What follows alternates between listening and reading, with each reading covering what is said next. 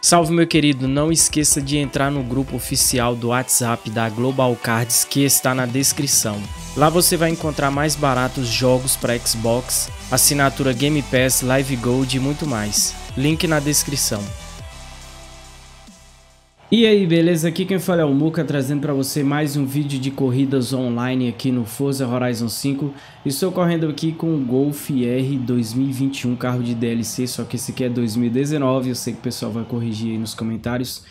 E para quem não sabe, eu faço lives todos os dias na Twitch a partir das 20 horas e meia, tá? Se você quiser trocar uma ideia comigo, trazer alguma informação, quer correr comigo também, igual eu tô correndo aqui com a galera, é só aparecer na Twitch Toda quinta-feira, meio-dia, eu faço os eventos sazonais e depois eu trago aqui para o YouTube, tá? Se você é novo no canal, já se inscreva para você não perder nenhuma dica de Forza Horizon 5. Inclusive, aí na descrição do vídeo tem uma lista de dicas com lista de top carros com configuração de tonagens, dicas de assistências e muito mais. Então fica ligado no canal para você não perder nada, você que curte Forza Horizon 5. E na última sexta-feira a gente estava trocando uma ideia apareceu um dos seguidores lá e trouxe uma informação que eu fiquei impressionado. Quem tem assinatura Game Pass Ultimate é, está vinculado à EA Play, então você vai poder jogar o grid, testar o grid 10 horas de gameplay a partir do dia 22, que é amanhã. Eu achei interessante porque, pelo que eu vi, quem comprou o grid vai poder jogar só dia 25. Eu vou ver, eu vou confirmar essa informação porque se a gente poder jogar o grid a partir do dia 22, até quem comprou o grid, né? Eu posso pegar o grid a qualquer momento. Eu já vou mandar baixar para a gente jogar. Só que eu quero fazer uma live bem especial no sábado, só de grid correndo com a galera. Então, se você poder é, economizar um pouco das suas horas aí de gameplay, segura até sábado para a gente jogar durante as nossas lives da Twitch, a gente fazer algumas corridas online. Lembrando que o grid vai poder jogar até quem, quem é do PlayStation também vai poder jogar com quem tem Xbox. Lá a gente vai poder fazer é, corridas também, igual aqui no Forza Horizon a gente tem aquele modo Event Lab que você faz as corridas. Eu vi que no Dirt Rally 5, né, o Dirt 5 tem essa opção também. Então é um jogo bem interessante para a gente sair um pouco da rotina, pegar um jogo que não tem uma física ruim, tá? Então, se você já tem a Xbox Game Pass aí, você está vinculado é a Ultimate, tá? Que está vinculado à EA, você vai poder pegar o grid para testar a partir de amanhã. Então, testa com carinho, faz uma análise certinha da física do jogo, vê se realmente compensa, se vale a pena comprar, porque é só um teste de 10 horas, achei interessante porque é muito tempo. Eu espero que nesse teste, esse beta esteja com tudo liberado principalmente para a gente fazer algumas corridas online aí no sabadão aí, dia 26. Eu quero começar a live a partir das 7 horas da noite. Então fica ligado, se você resolver comprar o grid ou se você resolver comprar a assinatura Game Pass Live Gold, aproveita e compra com o meu link da Global Cards que está na descrição para você me ajudar. Vamos para mais uma corrida online, agora a gente vai de Lamborghini SVJ, lembrando que eu fiz a configuração de tunagem da SV, trouxe aqui para o canal, o pessoal curtiu muito, ela ficou uma versão bem melhor do que essa, essa aqui é mais para manobra, a outra tem um pouco, é, um pouco inferior à manobra, mas nada grave, mas tem muito mais velocidade, então dá uma conferida, lembrando na descrição do vídeo aí para você que é novato, tem várias dicas aí para você aproveitar melhor o jogo, tá? Eu tô vendo que tem muita gente perdida, então aqui no canal você não vai ficar. É só clicar na descrição, tem uma lista de dicas para você que é novato. Olha só, dia 22 agora a gente vai ter outro que eu chamo de lançamento, né? A Seto Corsa Competizione vai trazer uma atualização para consoles da nova geração. Xbox Series S, Series X. É um jogo que eu considero um lançamento porque, primeiro, ele chegou pra gente aí no Xbox One muito mal otimizado. Eu devolvi o jogo. Eu tinha comprado ele, um jogo que vem com um preço bacana, ele está custando 100 reais. Ele é um jogo que oferece carros oficiais de corrida.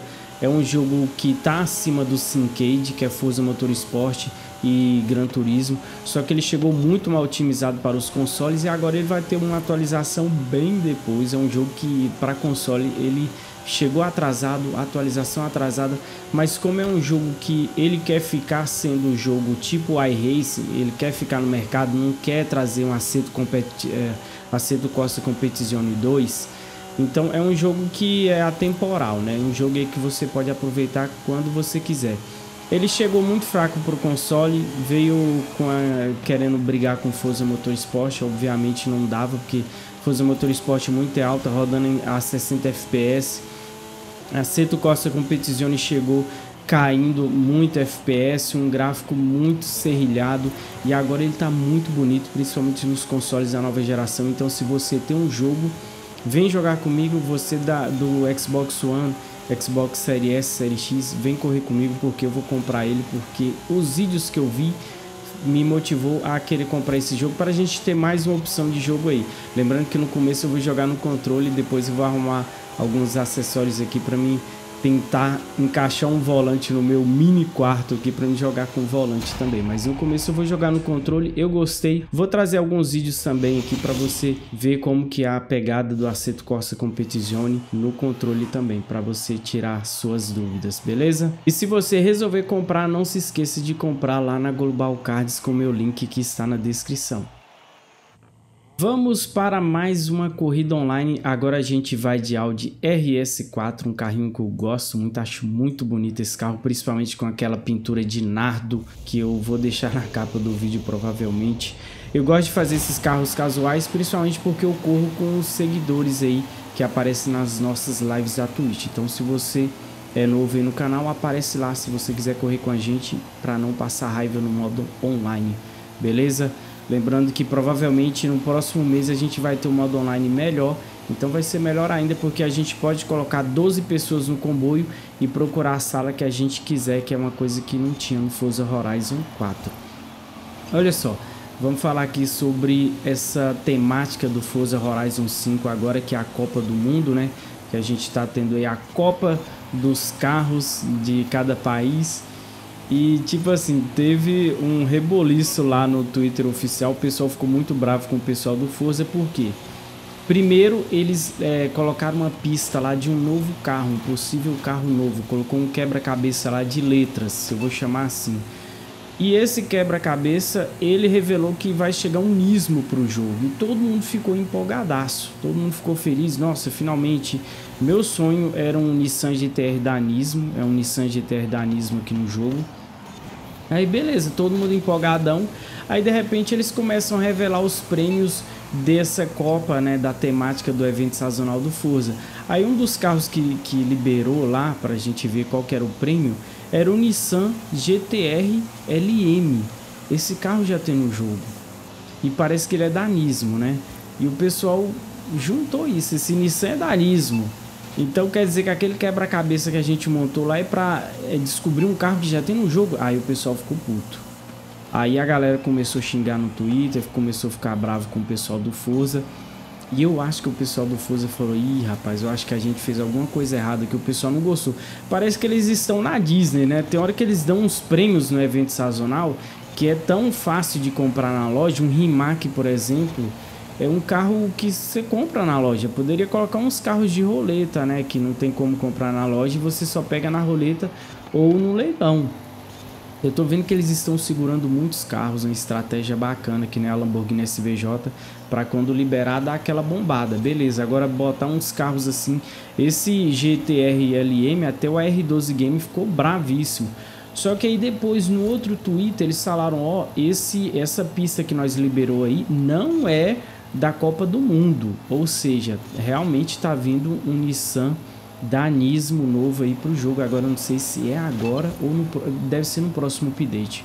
Que vai vir aí lá pro dia 2, dia 5 aí do mês de março. Qual Nissan você acha que é? Eu tô torcendo para ser um GTR Danismo, pode vir um qualquer outro. Eu vi que o pessoal estava comentando que não pode ser o Sentra, né? Que eles disseram que é um, um carro realmente novo no jogo. A gente, se eu não me engano, teve o Nissan Sentra Danismo no Horizon 4. Deixa aí nos comentários se eu estiver errado. Vamos sinalizar de golfão novamente, só que classe B. Eu fiz um teste com esse carro aqui com pneu de drag. Eu coloquei um pneuzão de drag nele, baseado naquelas dicas de configuração de tunagem que eu tá aí na descrição que eu trouxe aqui no canal. Eu coloquei pneu de drag, o nível de aderência dele continuou bom para classe B. Aí deu pra gente colocar mais peças de potência, como você tá vendo aí, a arrancada dele tá bem boa, tá? E eu coloquei a pressão de pneu bem alta também, né? Porque pneu de drag é muito molengo, então eu coloquei a pressão de pneu bem alta para ele ficar um pouco mais arisco esse pneu. E ficou até bacana, recomendo você testar. Olha só, o Forza lançou mais uma pista, aquele quebra-cabeça de letras, tá? Vou chamar assim, não sei o nome daquilo. E tipo assim, esse quebra-cabeça era para revelar o carro do próximo update que deve sair lá pro dia 5 de março, né? E saiu um Toyota Trunda. Nunca ouvi falar nesse carro. Se você já ouviu falar nesse carro, deixe nos comentários. Beleza, revelou a Toyota Trunda. Aí o pessoal da live já falou: Muca, você lembra aqueles carros que tinha vazado, que o Forza não, não revelou nos próximos updates? O Toyota Trunda tava no meio desses carros, então provavelmente esses carros devem vir pra gente ou nesse próximo update ou no update aí, é, sei lá, do mês de abril por aí, ou pode vir no próximo agora, um desses carros aqui porque já foram descobertos arquivos desses carros que eu vou falar para você. Um Audi RS4 Avante 2018, um Audi RS5 que eu sou fã demais, 2018, a gente tem um modelo aqui no Forza só que é antigo. Tem também M8 nesses arquivos, tá? Pode ser que venha agora ou lá ou depois. Tem aquela, aquela Ford do Brian, sabe? Do filme Velozes e Furiosos, aquela vermelhona, lindíssima. Eu sou fã demais desse carro. Quero muito esse carro no jogo. Tem um Mini Cooper também, uma edição semi-pista melhor do que a gente tem no jogo. Provavelmente vai ser OP na classe A, FWD. Aí tem esses é, Toyota Trunda aí, tem o Runner da TRD, que eu nunca ouvi falar nesses modelos da Toyota Forza deve gostar muito de carro SUV ou deve vir de graça pra gente, né? Desses carros aí, deixa nos comentários qual que você gostou mais. Agora, eu tava meio desconfiado de, desse, desse vazamento, mas agora, depois que o Toyota Trunda, né? Que foi revelado lá, confirmado que vai vir no próximo update, baseado no quebra-cabeça, ele vai vir e ele tá no meio dos arquivos de vazamento com esses outros carros aqui, Cara, eu, eu acredito que pode ser que vai, vão ser DLC e alguns carros eles vão vir no evento sazonal. Então a gente não sabe como que esses carros vão chegar. Provavelmente eu acredito que a M8 vai ser de DLC essa M8. Provavelmente também o Mini Cooper, o Audi RS4, né, 2018 e o restante as caminhonetes aí deve vir um monte de caminhonete no evento sazonal, mas eu não sei. Deixe nos comentários o que, que você acha, beleza? Se gostou do vídeo, deixa o like, manda um salve nos comentários. Se você não é inscrito, já se inscreva para você não perder nenhuma dica de força aqui no canal. E até o próximo vídeo.